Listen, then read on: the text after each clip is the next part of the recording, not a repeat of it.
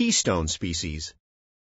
In 1966, ecologist Robert Paine realized that a single species can make a big difference.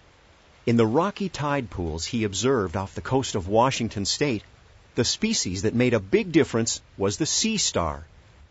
Many kinds of water animals lived in the tidal pools.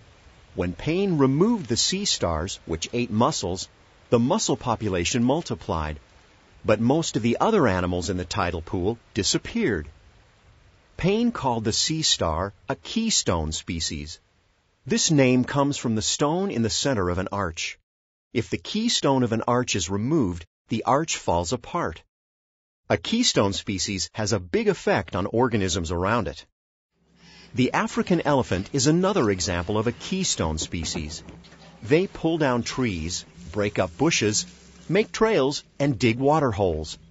Their activities open up the forest for other animals and help prevent grasslands from becoming forests. Elephant droppings help to fertilize the soil. They contain many undigested seeds and nuts, which are eaten by baboons and birds. Elephants also spread plants to new areas. In fact, some seeds cannot sprout until they have passed through an elephant's digestive system.